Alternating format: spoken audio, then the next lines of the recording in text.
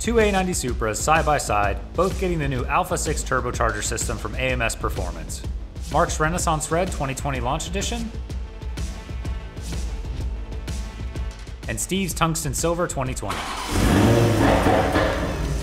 As you can see, the setup's pretty similar on both. The key difference is that Mark's Supra also received port injection, which will allow for higher ethanol content fuel and thus a bit more power. And of course, both are calibrated by Vlad via EcuTek. Now, let's see what they both got on the rollers.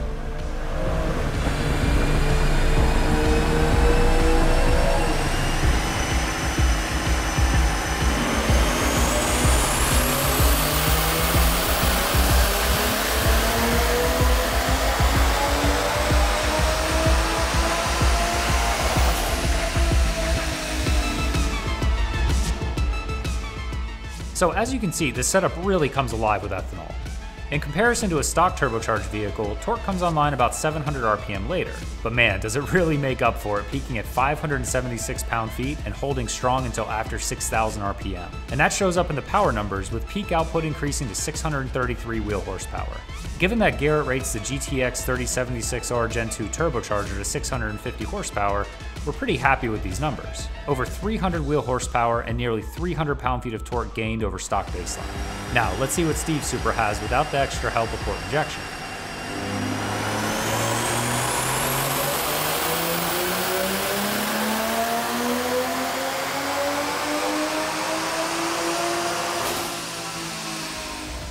Man, still super impressive results here, coming in at 599 wheel horsepower and 555 pound-feet of torque at only 40% ethanol content, picking up over 250 wheel horsepower and 150 pound-feet of torque. Pretty strong.